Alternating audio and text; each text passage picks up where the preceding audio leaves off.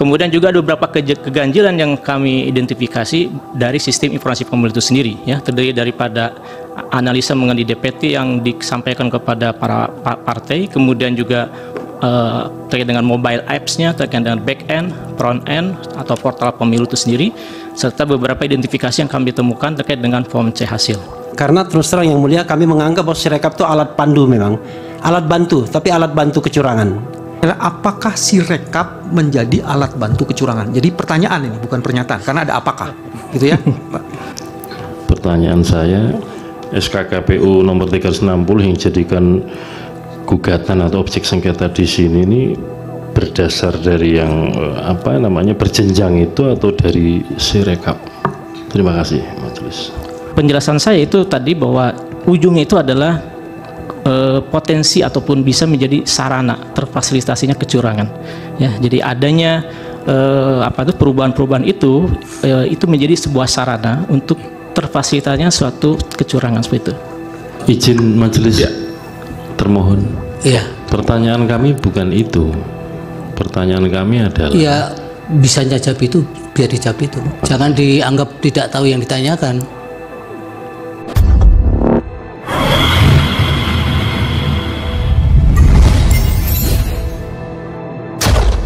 Bagaimana tidak ketar-ketir perasaan Ketua KPU Hashim Asyari ketika saksi ahli kuasa hukum Amin berhadapan langsung dengan Ketua KPU beserta anggota lainnya yang keduanya dipertemukan dalam ruangan sidang. Di hadapan delapan majelis hakim Mahkamah Konstitusi, Dr. Yudi Prayudi membongkar semua kejanggalan, keganjilan, serta taktik-taktik kecurangan yang dilakukan oleh pihak KPU. Kepala Pusat Studi Forensik Digital UII Yogyakarta, Dr. Yudi Prayudi mengatakan dengan tegas, sistem informasi rekapitulasi yang digunakan KPU tidak memenuhi standar testing maupun validasi. Dr. Yudi Prayudi menilai masalah sirekap itu menjadi salah satu penyebab adanya kecurangan. Dr. Yudi Prayudi merupakan ahli forensik yang dihadirkan oleh tim kuasa hukum Anies Rashid Baswedan dan Muhaimin Iskandar dalam sidang sengketa Pilpres di gedung Mahkamah Konstitusi. Dalam temuannya beliau menjelaskan keseluruhan temuan ini menegaskan bahwa Sirekap tidak memenuhi standar testing dan validasi yang diperlukan untuk sistem rekapitulasi dan publikasi hasil penghitungan pemilu yang dapat diandalkan Selain itu, Dr. Yudi Prayudi menyoal soal KPU melakukan koreksi data pada Sirekap. Dr. Yudi Prayudi mengatakan proses koreksi tersebut tidak ada pengaruhnya pada presentasi atau angka. Ketika berjalannya proses persidangan tersebut, kuasa hukum Amin Repli Harun menambahkan dan membantu menjelaskan kepada Ketua Hakim Mahkamah Konstitusi Terus terang yang mulia, kami menganggap bahwa Sirekap itu alat bantu memang, tapi alat bantu kecurangan meledak. Tak terbayangkan bagaimana perasaan KPU waktu itu. Was-was, hancur, dan sehancur-hancurnya, yaitulah Repli Harun. Bukan hanya sebatas cerdas, melainkan tegas dan juga pemberani.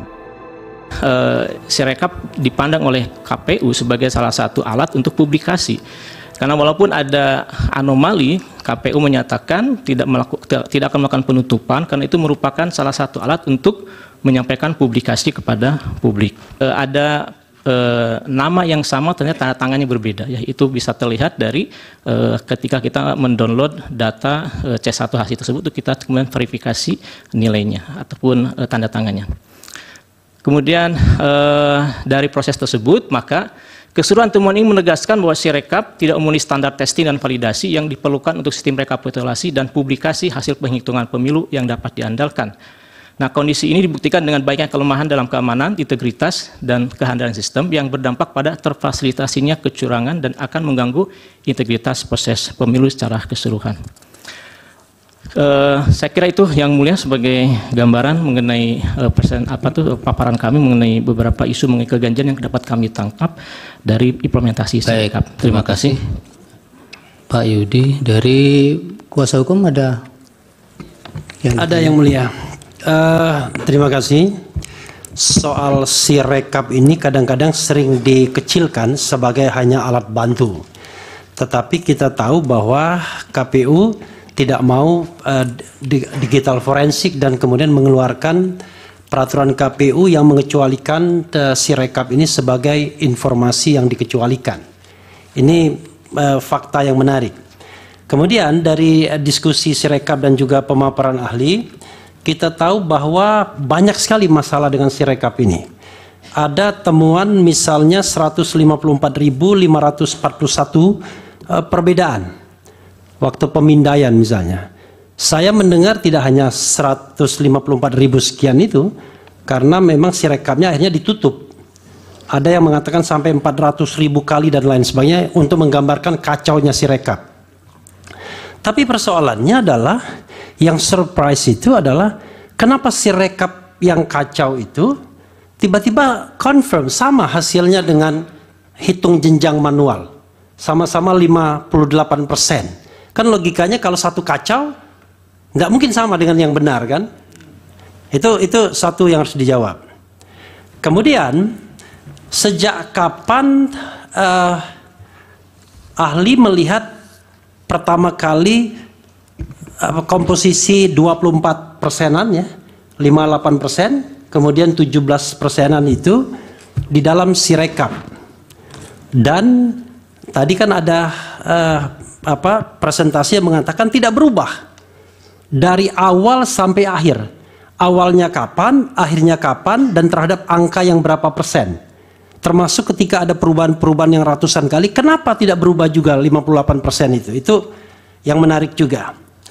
Kemudian te- tadi tidak eksplisit sebenarnya kita ingin menginginkan eh, potensi-potensi kecurangan yang bisa dilakukan dengan sirekap ini. Karena terus terang yang mulia kami menganggap bahwa sirekap itu alat pandu memang, alat bantu, tapi alat bantu kecurangan. Itu saja. Terima kasih. Ini yang terakhir apa pertanyaan atau pernyataan ini?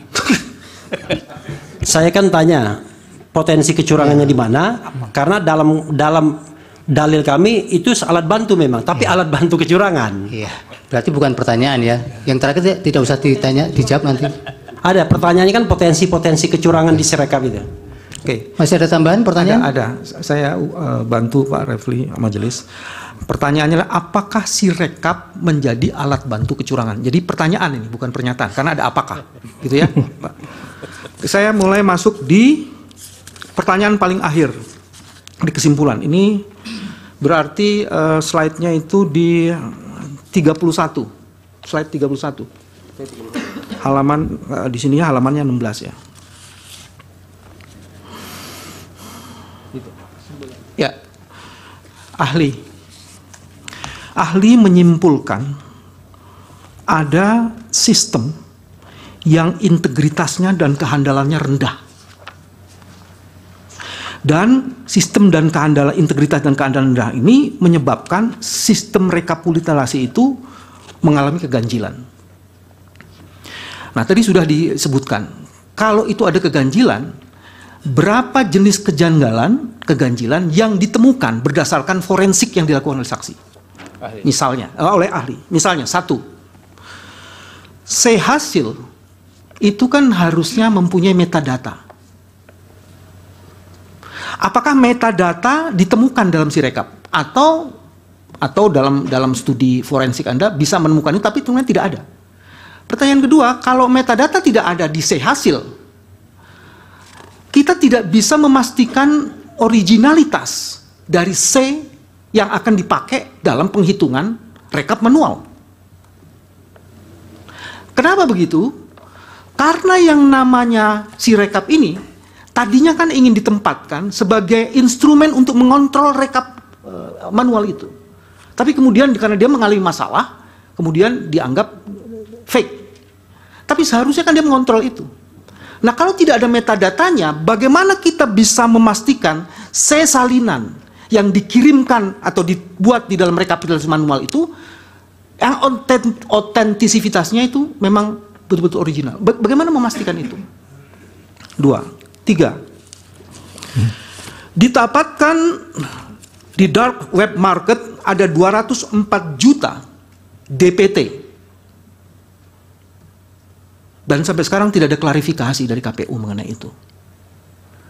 Dan KPU juga tidak melakukan audit forensik mengenai itu. apakah tindakan yang dilakukan KPU itu melanggar dapat di, di, di, di, dikualifikasi melanggar prinsip-prinsip jujur dan adil. Yang terakhir, ini ada bagian yang menarik sekali. Ternyata masing-masing KPPS dan PPK itu mendapatkan mobile apps. Begitu ya? Dan dari hasil penelusuran saksi, ada ahli, maaf, itu tiba-tiba mobil apps-nya itu ada fitur yang berbeda, itu di halaman eh, 15. Lima, ah, ya betul, 15-16 ini. Ada fitur yang masuk berbeda, yang menyebabkan tadi dalam istilah uh, ahli itu satu orang bisa login beberapa device. Dan ini kan kecurangan potensinya ada di situ. Bapak bisa dijelaskan? Saya, oke. Okay. Itu tadi yang Cukup. mau saya ingatkan. Oh iya, saya jangan berpendapat dulu, Bapak. Enggak, saya tanya kan. Oh. Apakah itu bisa? Okay. Terima kasih. Terima kasih. Termohon ada pertanyaan? Ada dua hal. Yang pertama, kalau saya tidak salah dengar tadi, saudara ahli menyatakan bahwa daftar pemilih tetap itu dianalisis pakai sirekap, padahal sebetulnya tidak, tapi menggunakan SIDALE, ya, Sistem Informasi Daftar Pemilih.